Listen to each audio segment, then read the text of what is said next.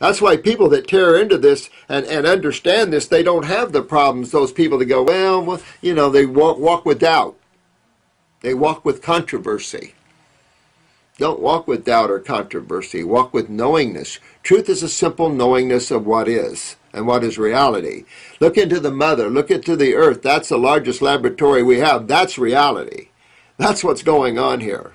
Not what man thinks, not what scientists think, not what biochemists thinks, not what UCLA thinks. These guys are lost in worlds beyond. They have no clue of simple reality anymore.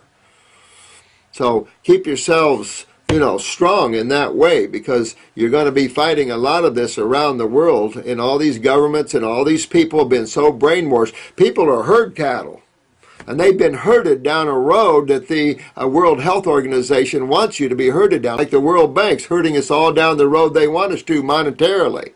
And we're walking down accepting everything they're doing. They're manipulating everything. They're making all these crises happen, let me tell you. And they've slammed people in debt. They love that. So we have to pull back because spirituality, it's time to blossom and grow spiritually. It's time to share the love with each of us and to relax over this diet thing. There's some people that come into this that haven't come into this that just just can't get it. They're just their minds are racing a million miles an hour, and those people need to go do some fasting, meditation, and relax, and then come back and think about it. Because uh, this is a these, this site is for those healers. I'm building you all as healers, as many of you as you want, because we need you. People are suffering. And look at how many of you guys have overcome your suffering. It's just incredible. My heart is is is is pounding big because I'm just so proud of every one of you guys.